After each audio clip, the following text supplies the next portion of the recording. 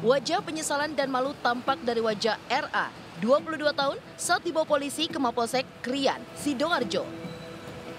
Warga Tambak Sari, Surabaya ini terpaksa berurusan dengan polisi karena menganiaya seorang kondektur bus antar provinsi dengan cara menggigit telinga korban hingga putus di Jalan Bypass Krian, Sidoarjo. Kepada polisi, tersangka mengaku nekat menggigit telinga korban lantaran emosi dan spontan saat akan dikeroyok oleh kru bus.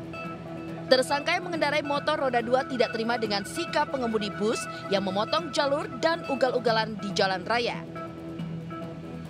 Ya karena saya dikeroyok sama orang tiga dipukul tadi dari belakang terus dibeting dengan spontan saya nggak bisa ngapa-ngapain langsung gigit tadi.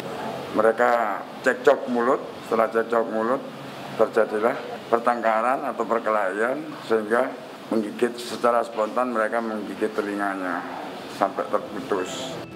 Korban saat ini masih menjalani perawatan di rumah sakit.